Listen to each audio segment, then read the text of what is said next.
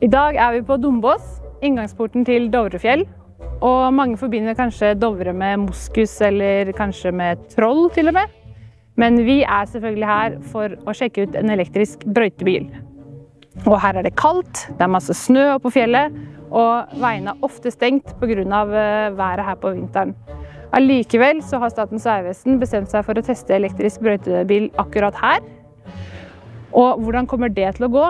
Elbiler er jo kjent for å ha dårlig rekkevidde, lade sakte, og de starter jo nesten ikke engang når det er kaldt. Så en elektrisk brøytebil det kommer jo i hvert fall ikke til å gå. Eller er det bare fordommer? Bli med, så får du se. Statens vegvesen har et mål om å halvere eh, utslipp fra vår virksomhet innen 2030. Eh, og for at vi skal få det til, så er vi nødt til å ta i bruk eh, ny teknologi. Vi er nødt til å ta i bruk nullutslippsteknologi, som f.eks. Eh, elbiler. Også til de tyngste oppgavene, som, som f.eks. brøyting av veier. Derfor har vi nå bestemt oss for å gjennomføre en test der vi skal brøyte Dovrefjell i ca. en måned med en elektrisk lastebil. Det er en elektrisk lastebil som har 1000 kWt eh, batterikapasitet. Den skal normalt ha en eh, rekkevidde opp til 60 eh, mil med 50 tonns last. Så vil jo rekkevidden variere litt når det gjennomføres, gjennomføres brøyting. Erfaringen så langt viser at bilen faktisk leverer bedre på rekkevidde enn det vi eh, trodde før vi gikk i gang med forsøket. Eh, vi har bl.a. sett at, bilen, eh, at vi er i stand til å bruke denne bilen i opp mot ni timer i strekk til brøyting, og likevel ha faktisk litt batteri igjen etter det. Dette er jo en, en vanlig lastebil. eneste forskjellen er at den går på strøm istedenfor diesel.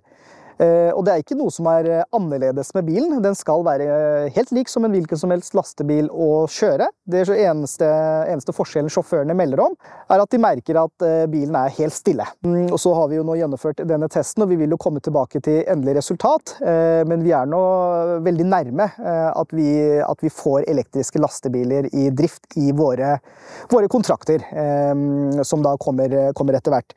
Men det er viktig å, å presisere at, at vårt hoved hovedmål eh, det er at vi skal brøyte veiene, og ikke brøyte det elektrisk.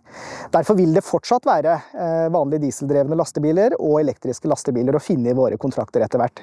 Gjennom, den, eh, gjennom testperioden vi har hatt nå, så har vi testet bilen, bilen, i både ulike temperaturer og ulike forhold. Det har vært rikelig med snø på Dovrefjell, der vi har testet bilen. Bilen har faktisk vært testet i temperaturer ned mot minus 30 grader. Vi har også hatt forsøk med bilen på vårt på vår teststasjon, eh, hvor vi har hatt snø helt opp til 50 cm snødybde, og ned mot minus 30 grader, der eh, vi har gjennomført eh, brøyteforsøk. Og vi ser at, at resultatet er oppløftende, og forbruket er lavere enn det vi faktisk trodde før vi gikk i gang med forsøket. Vi ser at den eneste mm, begrensningen vi har eh, for elektriske lastebiler nå, det er lading. For det, tar jo tid å lade lastebilen når man, har, eh, når man begynner å nærme seg eh, å gå tom for, tom for, batteri. Bilen tar imot 350 kWt, som er det høyeste som vi finner i de kommersielle ladestasjonene, ladestasjonene ute. Men det tar fortsatt noen timer før bilen er ferdig lada.